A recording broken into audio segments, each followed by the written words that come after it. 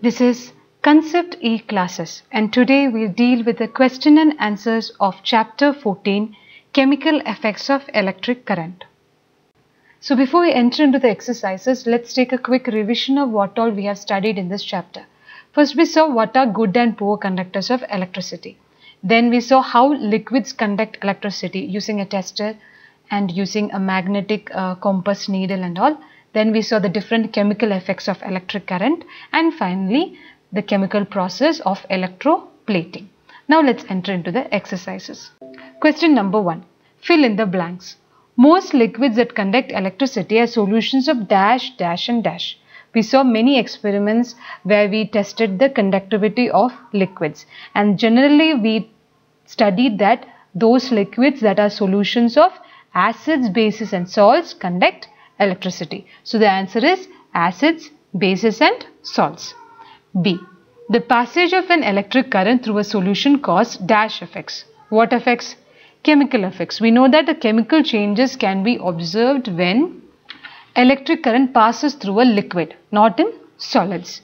Now see, if you pass current through a copper sulfate solution, copper gets deposited on the plate connected to the dash terminal of the battery we have done an activity where we uh, inserted two copper uh, rods inside a copper sulfate solution and there we saw that the copper sulfate solution it dissipated into copper ions and sulfate ions and those copper ions which are positive in charge they deposited on the negative terminal of the battery.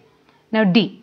The process of depositing a layer of any desired metal on another material by means of electricity is called as electroplating. Question number 2. When the free ends of a tester are dipped into a solution, the magnetic needle shows deflection. Can you explain the reason? So we have to explain why the magnetic needle showed deflection. So let's explain. We know that the electric current produces magnetic effect. We saw an example when we kept a compass needle nearby a current flowing wire. Even if the current is small, the deflection of the magnetic needle can be seen. So if a solution is a good conductor of electricity, it conducts electric current. So if the free ends of a tester are dipped in such a conducting solution, the circuit becomes complete. And only if the circuit is complete, there would be a flow of electricity. And due to the electric current, the magnetic needle will show deflection. Question number 3. Name three liquids which when tested in the manner shown in figure 14.9 may cause the magnetic needle to deflect. So we have already explained this experiment in the previous video of this chapter. If you have any doubt, please refer the corresponding slides in that video. So when will the magnetic needle deflect? Only when there is the presence of electric current. So we have to name three liquids that are good conductor of electricity. So the answer is lemon water, vinegar and tap water. Question number 4. The bulb does not glow in the setup shown in the figure. List the possible reasons and explain your answer. So we have to explain why the bulb does not glow in such an apparatus. We have a battery, we have a bulb and the testers free ends are dipped into a solution. Let's see the possible reasons. The first one is the liquid may be a bad conductor of electricity. If it is a bad conductor of electricity, the circuit is incomplete and if the circuit is incomplete, there would be no flow of electricity. Hence the bulb will not glow. Second reason is the electric current may be too weak to make the bulb glow. We have already studied this in the first video of this chapter. So eh, we replace the bulb with an LED if the current is too weak. Then the third reason is either the battery or the bulb may be defective and fourth reason is there may be a loose connection in the wires. Question number 5. A tester is used to check the conduction of electricity through two liquids labeled A and B. It is found that the bulb of the tester glows brightly for liquid A while it glows very dimly for liquid B. So what can we conclude? So we are using a tester to check the conduction of two liquids labeled A and B and uh, we found out that the bulb of the tester glows brightly for liquid A as compared to that of liquid B. So what can we conclude? The options is liquid A is better conductor than liquid B, liquid B is a better conductor than liquid A, both liquids are equally conducting and fourth is conducting properties of liquid cannot be compared in this manner. So what would be the answer? If the bulb glows brightly for liquid A, then the liquid A is a better conductor than liquid B, right? Because it uh, the bulb uh, where we tested the conductivity of liquid B glows very dimly. It means that there is weak current there. Hence, we could conclude the answer as the liquid A is a better conductor than liquid B. Question number 6. Does pure water conduct electricity? If not, what can we do it to make it conducting? So, does pure water conduct electricity? No. Why? Because it doesn't contain any salts. It is a pure form. It is free of salts. So, what can be done to make it conducting? we could dissolve some common salt to the water. So we already studied that when we add common salt uh, inside distilled water, it makes it a good conductor. Question number 7. In case of fire, before the fireman uses the water hoses, they shut off the main electrical supply for the area. Explain why do they do this. So we have to explain why the firemen shut off the main electric supply before they use the water hoses. Let's see why. Why do they shut it off? Because to avoid electric shock as water is a good conductor of electricity. And if this water may come in contact with any type of electrical appliances, they conduct electricity and it might affect the firemen as well.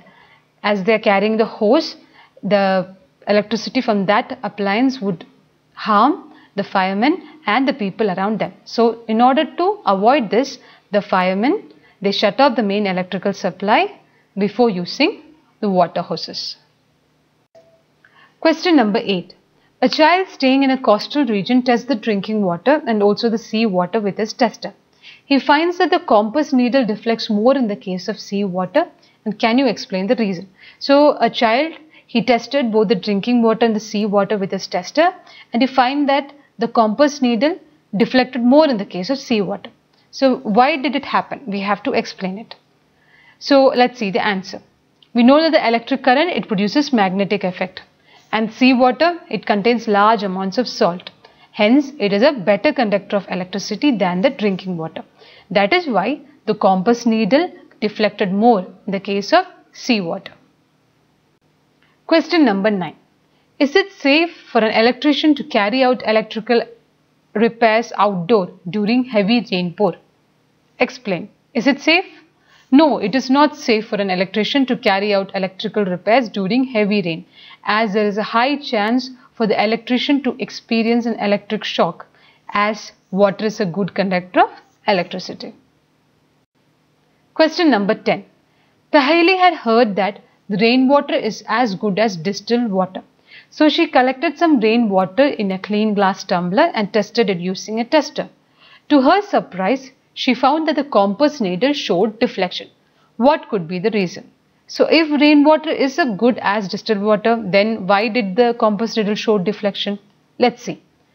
As we know that rainwater is the purest form of water.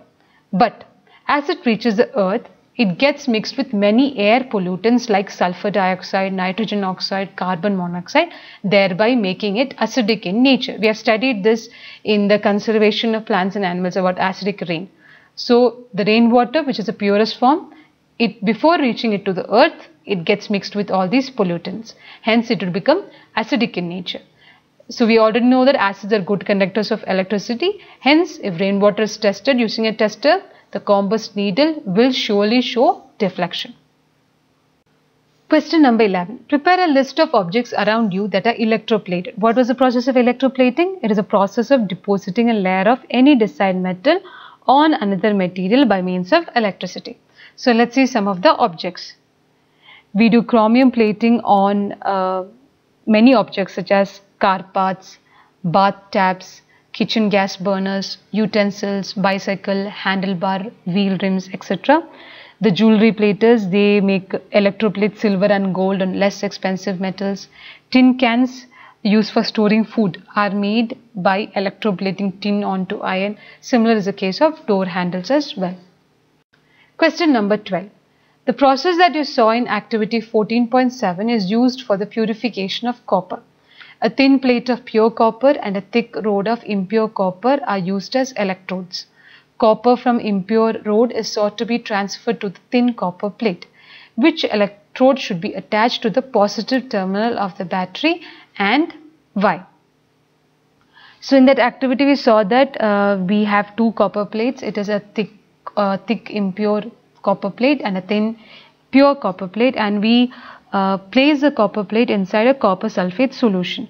Then we connect these copper plates to the terminals of the battery and allow the current to pass through them. And we can see that uh, the copper from the impure rod is sought to transfer to the thin copper plate. So we have to explain which electrode should be attached to the positive terminal of the battery and why. So the answer is when the electric current is passed through the copper sulfate solution, the copper sulfate it breaks down into copper and sulfate ions. Copper would stay positive and sulfate would be negative. So the free copper ions which are positive in charge it gets attracted to the electrode connected to the negative terminal of the battery as opposite poles attract each other and it gets deposited on the negative electrode which is a cathode. Hence the thin copper plate should be attached to the negative terminal of the battery. So which copper plate should be attached to the positive then? The thick impure copper plate should be connected to the positive terminal of the battery as equal amount of copper gets dissolved in the solution. Thus the loss of copper from the solution is restored and the process continues. This means that the copper gets transferred from one electrode to another. So which electrode should be connected to the positive terminal? The thick impure copper plate should be connected to the positive terminal. So that's all for the question and answers of chapter 14. Tune in soon for the next session. Don't forget to share, like and subscribe if you find the contents useful. Thank you so much. May God bless you all. Take care and bye-bye.